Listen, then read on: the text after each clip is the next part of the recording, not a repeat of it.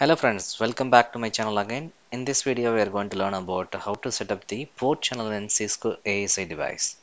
If you are watching my channel very first time, please don't forget to subscribe my channel so that uh, any new videos that I will post in the future, it will get notified as a suggestion for you. Alright, so over here I have, uh, um, I'm verifying my interface status by putting show interface IP brief so it's showing I have uh, gig 8 1 until gig 8 4 the interface status showing as up is it's because I have uh, I have uh, the cable already completed. 66.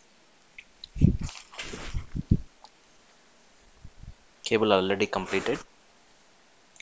Now I'm getting into the um, I want to uh, build a port channel between uh, 8 3 and 4 first right?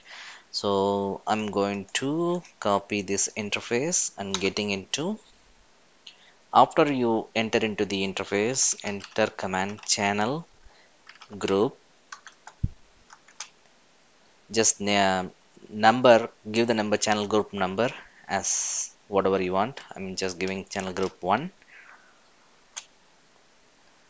and then mode ether channel mode. I'm going to set it up this as active. Alright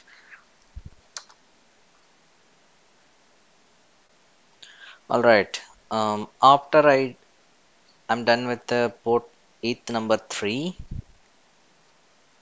I have to do this again for ETH 4 because I'm going to do the uh,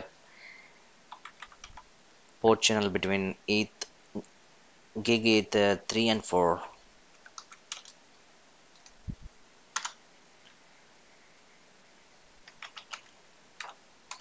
channel group 1 mode active. Right so now these two ports are part of uh, one one port channel. Let's verify that. Show. IP interface. Interface IP brief. I have the port channel created. Let's verify show. Port channel 1 it shows as LACP active and let's also verify. Show run port channel. Show interface port channel 1 so here we are able to see members in this channel. Gig 3 and 4 and the status is active because I have the interfaces already turned uh, meaning I have the cables are already connected. Alright so over here we need to um, see one main thing clearly. So when you configure the port channel if you wanted to set up the uh, mode as active meaning um, if you have LACP enabled the device link aggregation um, then you might need to choose that for uh, as an active because the link aggregation control protocol will will automatically exchange the um, link aggregation with your, your device which is Cisco ASA else you are forcefully making that as on mode uh, which you are setting that as a static port channel.